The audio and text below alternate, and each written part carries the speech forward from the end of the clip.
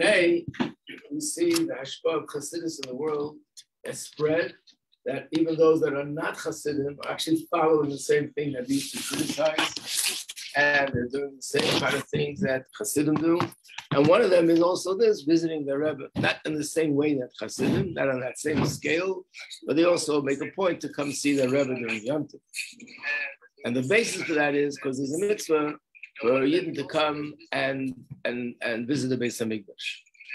So the question is, you need to understand, what does it mean you come to the Beis Hamikdash to be seen by the Abishter. I, I, the Abishter needs me to come to Yerushalayim. You come to the base of English to be seen. He's talking back to me.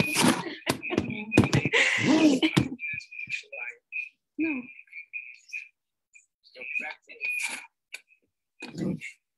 Else is giving the class at the same time? it's weird. The question is, um, maybe she doesn't need me to come there.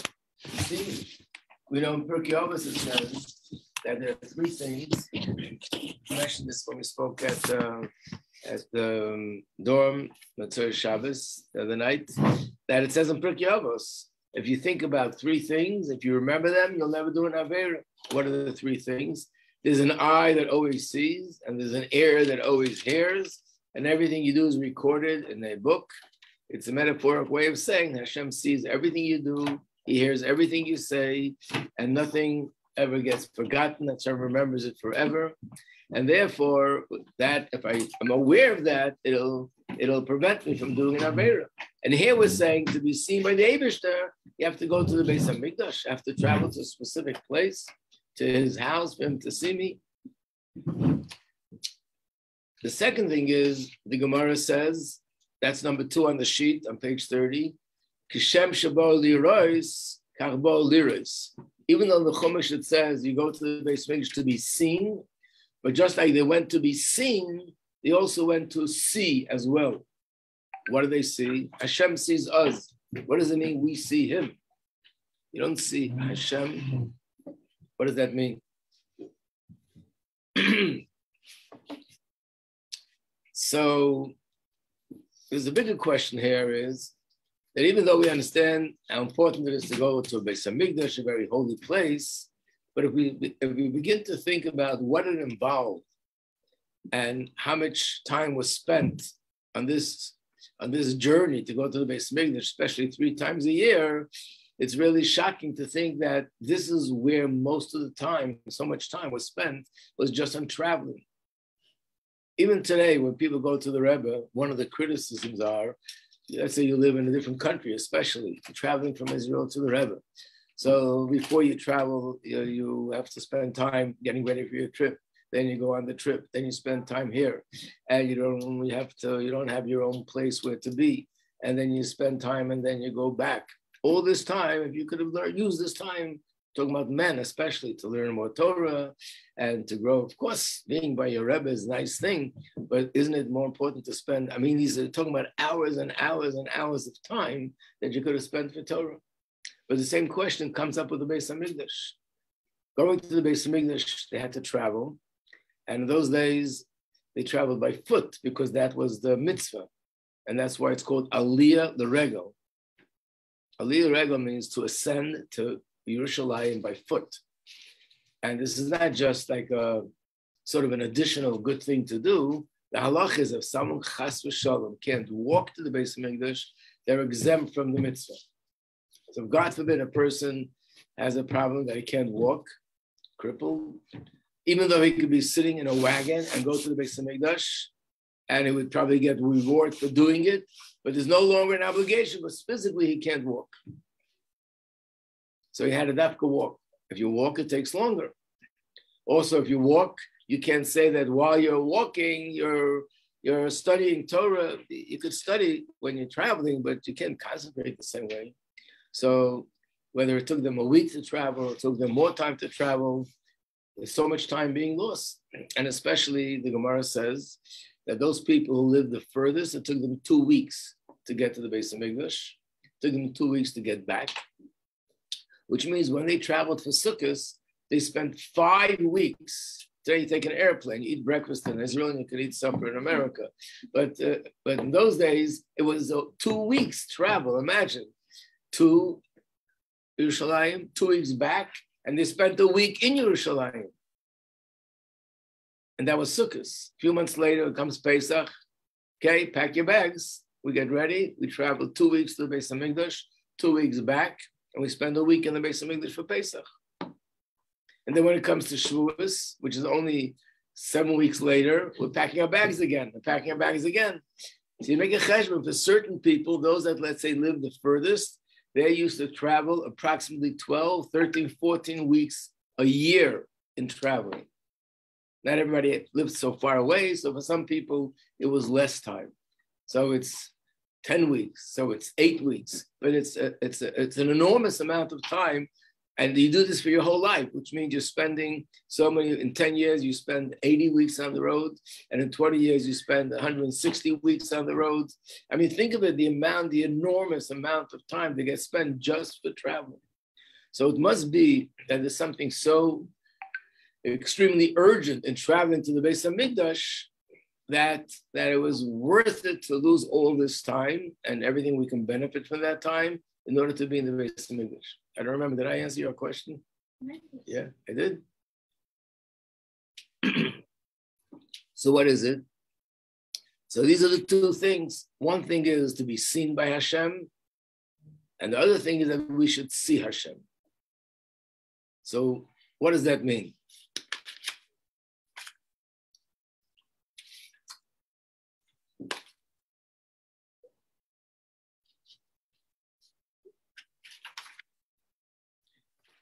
So the answer is the base of Hamikdash.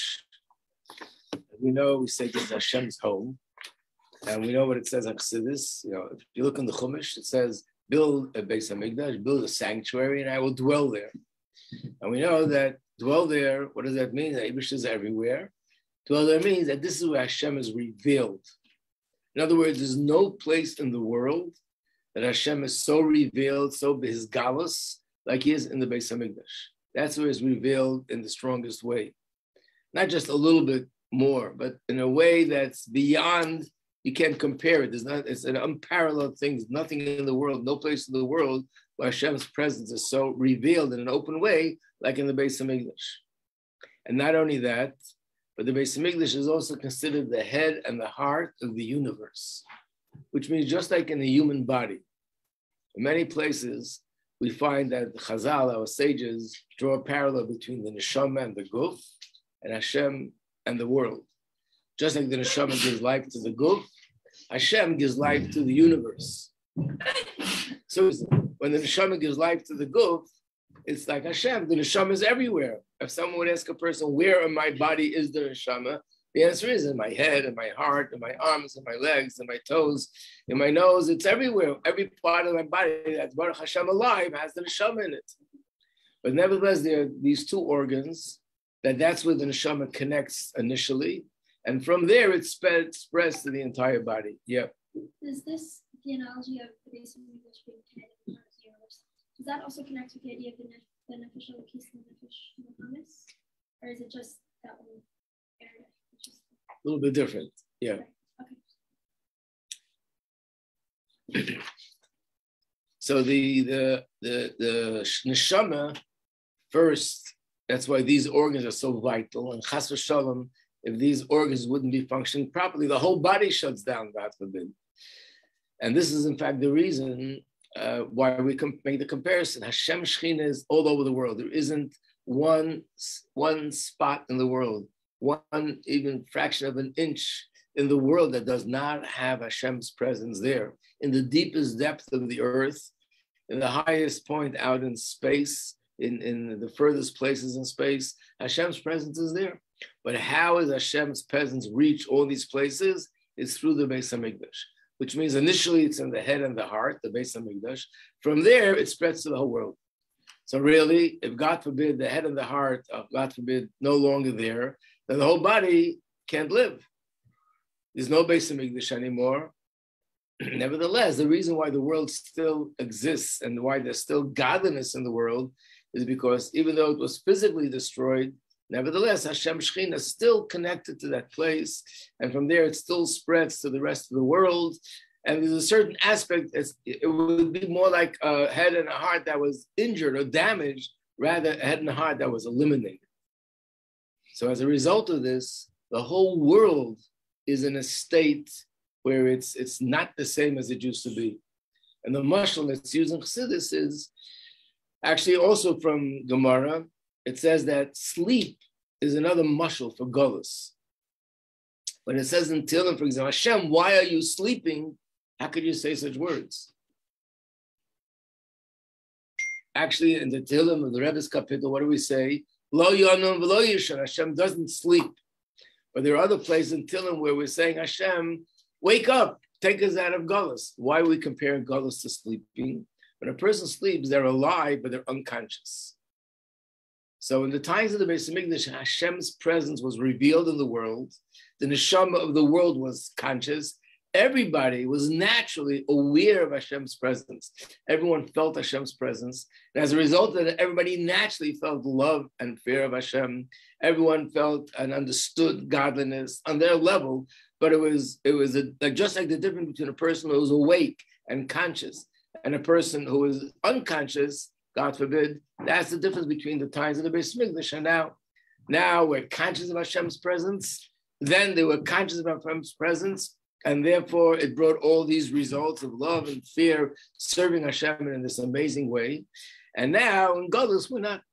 So in those days, not only that the Beis Hamikdash had a big influence on the world, but by going to the Beis Hamikdash physically, which is the source of this awareness of this consciousness, when we came back home after the Beis Hamikdash, this upgraded everything in our lives, our davening, our learning, our mitzvahs, our Ahavas Yisrael, our tshuva, everything we did was on a much higher level because we just gained a higher level of consciousness of Hashem. And we did it three times a year. Which means that whatever we gained on Sukkot, it doesn't mean it, it, faded away. We had to uh, sort of refresh it again on, on Pesach. Pesach was on a higher level. Shavuos was another level. And that's how we advance from Yontif to Yontif, from year to year, constantly upgrading our level and degree of consciousness of Hashem. And this is something which is impossible for a person to have only because of the Beis Hamikdash. And how was it? Because the Beis Hamikdash is where Hashem's presence is revealed.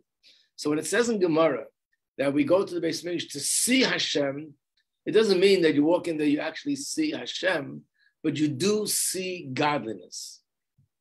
How is that? What does it mean you see godliness? First of all, there's two reasons why we, what we mean by seeing godliness. One is physically. Physically, yeah. It says in the Mishnah Pirkei Avos, made a copy on page 33, Asara Nisim There were 10 miracles that occurred constantly in the Beis Hamikdash. When a person sees a miracle with their eyes, you might not say that you saw Hashem, but you clearly saw a manifestation of Hashem with your own physical eyes. In other words, if a person is in a situation where you know the doctor says Chas v'shalom, this person cannot live for more than three days. Just giving you an example. And then you go to the Rebbe, the Rebbe tells you to do this, that, and the other thing. And don't worry about what the doctor says. And the person wakes up, and two days later, they're fully well and they're ready to walk outside. And the doctor goes, I can't explain. This is just a miracle. It's a medical miracle. We don't, we don't understand it. it. It doesn't make any sense. What you really witnessed with your physical eyes was Hashem's presence because this couldn't happen according to the laws of nature. So even though I don't say that I can see uh, Hashem, but I, it's a physical, uh, it's a visual experience of godliness. Every time there's a miracle, and that's why a miracle has such a tremendous impact on people and changes people's lives very often when they have this kind of a miracle. In the Beis Hamikdash, there were 10 miracles on a constant basis which means that Hashem's presence was revealed there in a way that, yes, you could see something with your eyes which testifies Hashem's, Hashem's presence is here.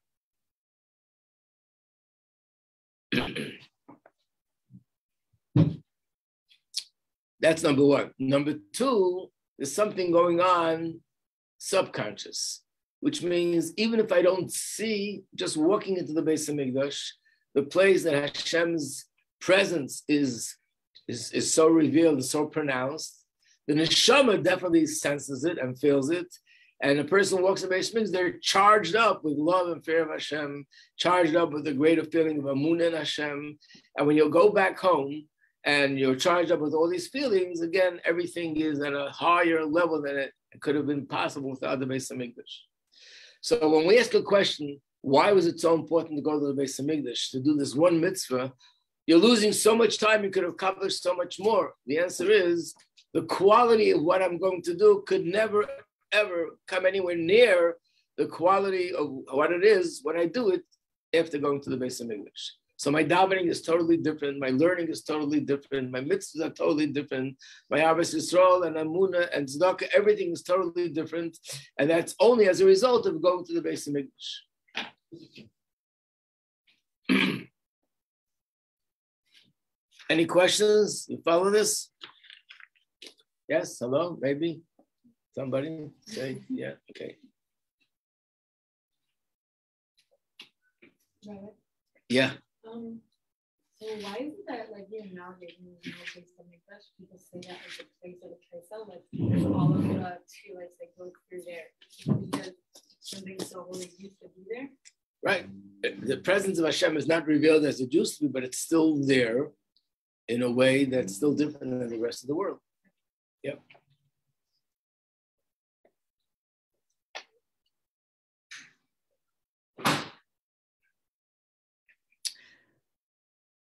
Now, this is the source, this is the, the reason why Chassidim come to the Rebbe. So, first of all, let me just show it to you inside as a halacha. Is a halacha brought down in the Rambam. In the booklet, it's page 34. The Rambam writes these words, these are laws of how to relate to a Torah teacher. Look at the bottom of the page where it's underlined in the Hebrew. We should underline it in the English right now, where it says Chayev Adam lahagdol pnei Rabbi Beregel. A person is obligated to visit his teachings during the festivals. And on the bottom, you see the footnotes that the reason for that is because there's a mitzvah to go visit the Beis Hamikdash during the festivals, is as well a mitzvah to visit your Rebbe during the festivals. In fact, it's interesting that we learn this from the way a woman, a tzaddik, conducted herself. You remember the story that there was a woman who was a tzaddikus, and she used to uh, arrange accommodations for a Navi, Elisha. She had no children, he gave a bracha for a child, and then the child passed away, and she ran to the Navi. As she's running to the Navi, her husband says, and she didn't tell her husband what happened. The Navi says, Where are you going? It's not Rosh Chodesh today, and it's not Yontif today. Why are you going to the Navi? So from this we learn that when it is uh, a Yontif, it's the right time to go to the Navi. Why? So look at number six on the page. There's a word that's brought down in Chassidus. I think the source is Sefer Yetzirah, one of the major books of Kabbalah. And the word is Ashan. Ashan literally means smoke, but actually in this context, it's a, an acronym for three words: Olam, Shana, and Nefesh. Which is Olam means the world. In other words, the realm of space. Shana is time, the realm of time, and Nefesh is the realm of life. So it says in Sefer Yetzirah that Hashem created the world, that it's made up of three dimensions. And these are the three dimensions life, time, and space. And all these three dimensions, Hashem created them in a way that they, they are parallel to each other, which means whatever He created in the realm of space, He created a similar structure that resembles it in the realm of time. And whatever is in the, in the realm of space and time, there's a similar structure in the realm of life. So therefore, regarding and in context of our conversation here, our discussion here, just like in the realm of space, there's a place in the world where Hashem's presence is there more than any place else. And from there, it spreads to the rest of the world. The same is in the realm of time. There's certain uh, sort of units, certain segments of time that Hashem's presence is more revealed there. And from there, it's revealed every day of the year. What are those times? Generally speaking, it's Shabbos and Yom Tov.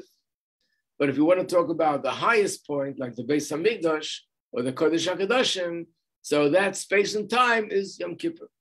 It's the high Hashem's presence is revealed the most than any other day of the year on Yom Kippur. And from there, the presence of Hashem spreads to the entire realm of time. So the fact that I can sense Hashem's presence Sunday, Monday, Tuesday, Wednesday, any day of the year is because Hashem's presence is there. That's true. But how does Hashem's presence come there? It goes through the same sort of process. First, it's in the Yom Kippur. From Yom Kippur, it spreads to all the Yom Tovim, Shabbos, and then to all the days of the week.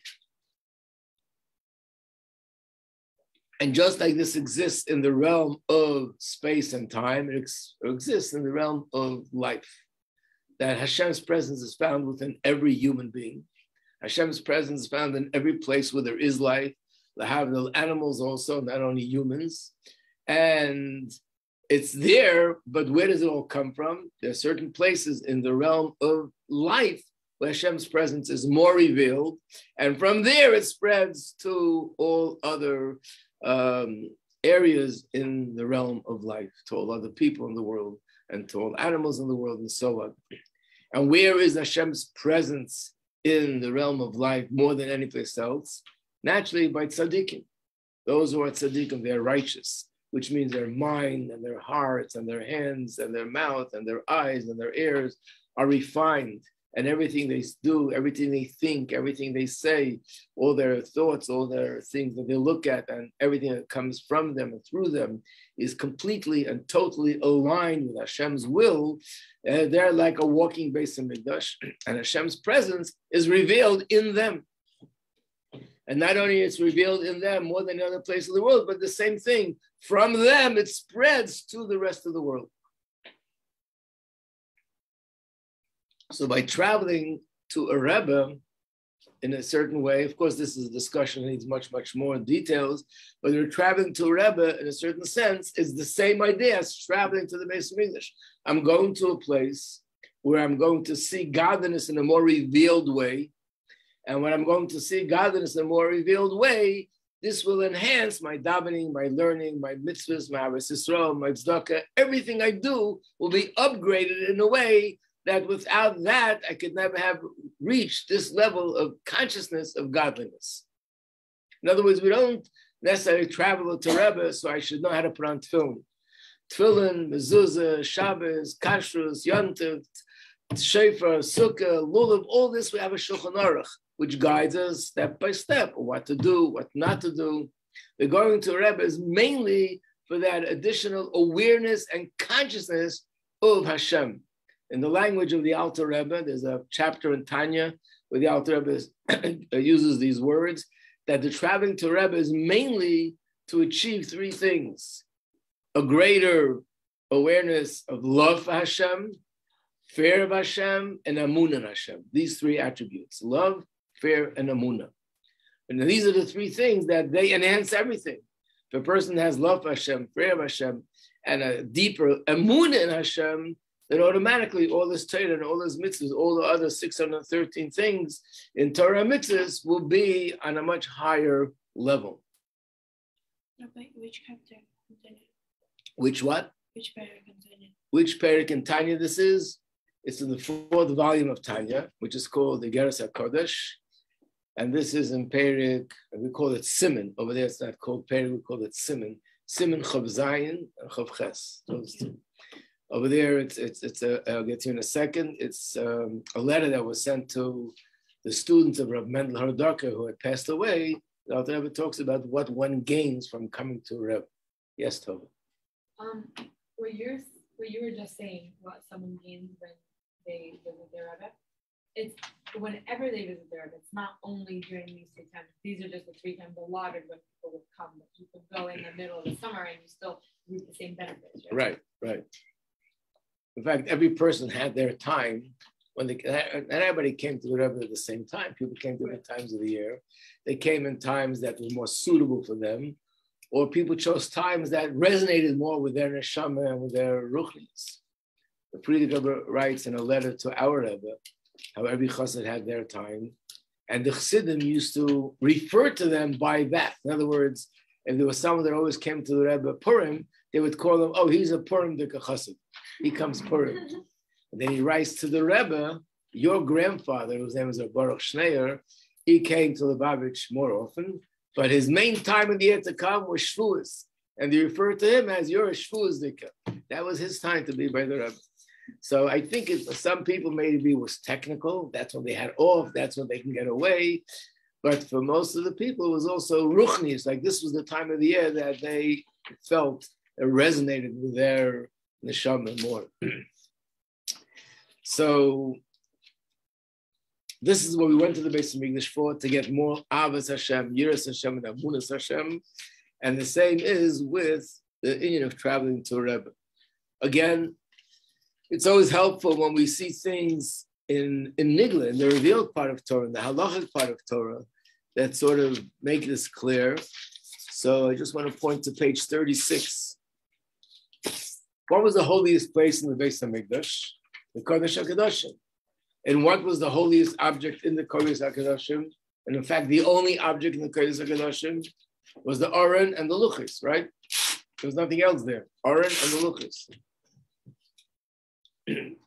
there were a few other little things that went along with it, but the main um, thing that was in the Kodesh HaKadosh was the Aron Luchas. Here's a story in Medrash, page 36.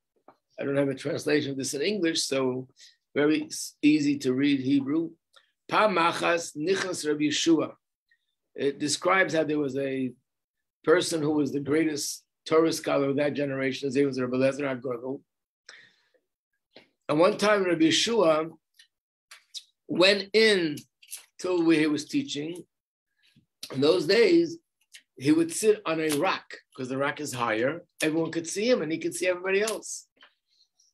He used to sit on a rock, and from that rock, he would teach Torah. Rabbi Shul walked in, the his his nashik eben. He began kissing the rock. Looks like not only kissed the rock, just kissed it numerous times out of love and affection. And he said, this rock, Daimel Har Sinai, it's like the Har Sinai.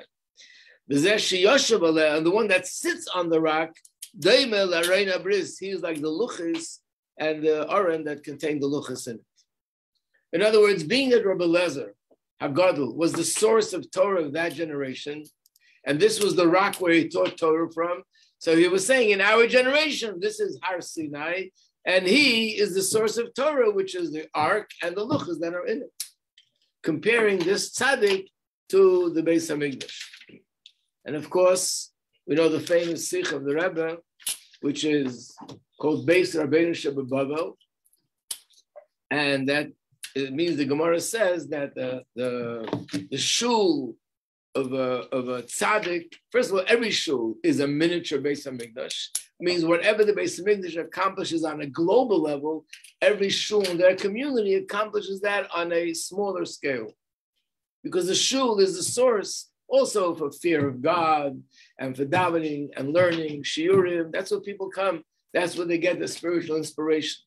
But yet, there's one shul that that's the source globally and that's the shul of the whoever is the leader of the generation. So this is the reason why Chassidim come to the Rebbe. Then comes the big question. Perfect, just in time, we're ready to almost finish. What? No, that's also a question. That's a different question.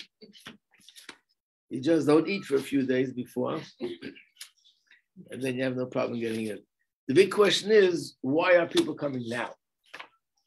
before when you could see the Rebbe blowing shofar, you saw the Rebbe in Hakafas, you saw the Rebbe dancing by Napoleon's march, you saw the Rebbe doing lulav and esrog.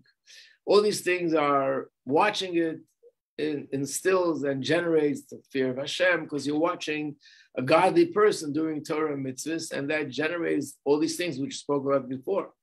But now we don't see it. So why is this happening now? Oh, so this, how do we, where do we start? We're not going to be able to finish. So I'll just make a starting point and hopefully we do have a class this afternoon, Hashem, so we'll continue in the afternoon. So one of the things that are uh, brought down in the Rebbe Sichas, in other words, just like we look to the Rebbe to know what should be our custom in, when it comes to davening, lulav and esrog, not everybody does lulav and esrog the same way. The general mitzvah is done exactly the same by all Jews around the world. But there are differences. I don't know if you're aware of those differences. There are little differences in the way we do it, the way other people do it. A chassid is a person who follows his Rebbe's path.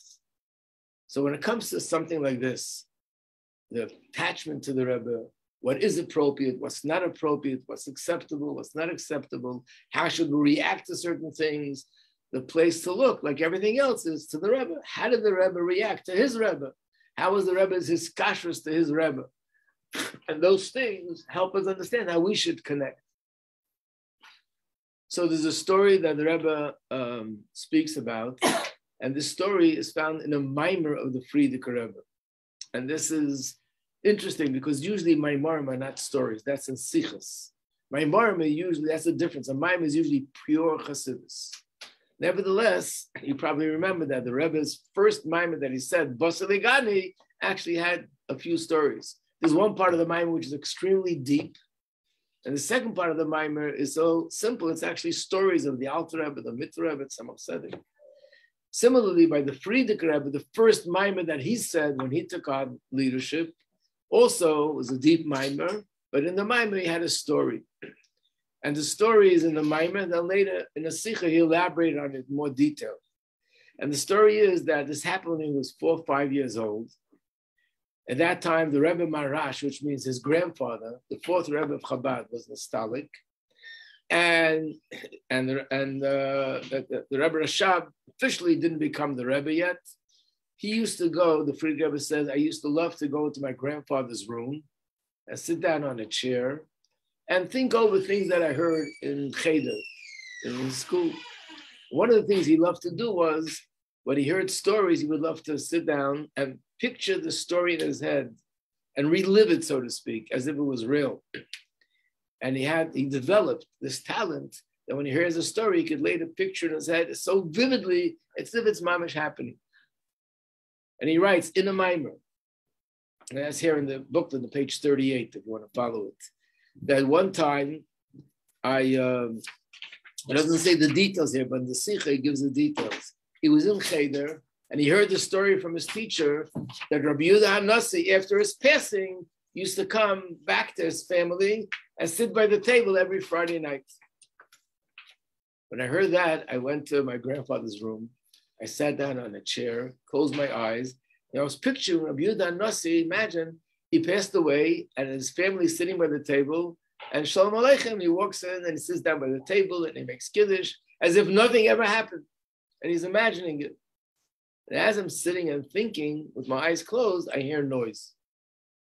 I open my eyes and I see my father, the Rebbe Rashab, standing in front of my grandfather's desk because the grandfather's room, that's where he accepted people, Yechidus. So the chair was there, the table was there, the furniture wasn't moved, wasn't touched. And my father is standing with his Shabbos clothing, with his gartel, holding a piece of paper in his hand, reading from it. Tears are flowing from his eyes, and he's facing the chair. And I got so frightened because he was just thinking about the idea that Rabbi Yonasi comes back to the same place where he was before. And he saw openly how his father is sitting and talking to his father facing the chair. And I tiptoed quietly and ran out of the room. That's the story that he tells. And basically, on this, what he's saying in this story is that there are tzaddikim that even after their presence, they're here. And where are they? In the same place where they were during their lifetime. And that applies to 770. And to understand that better, stay till this afternoon because it's already oh past uh, past our time. To be continued.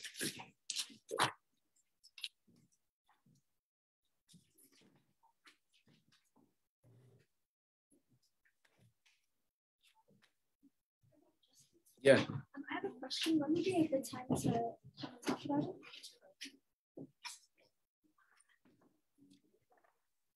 I'm going to teach the other class now.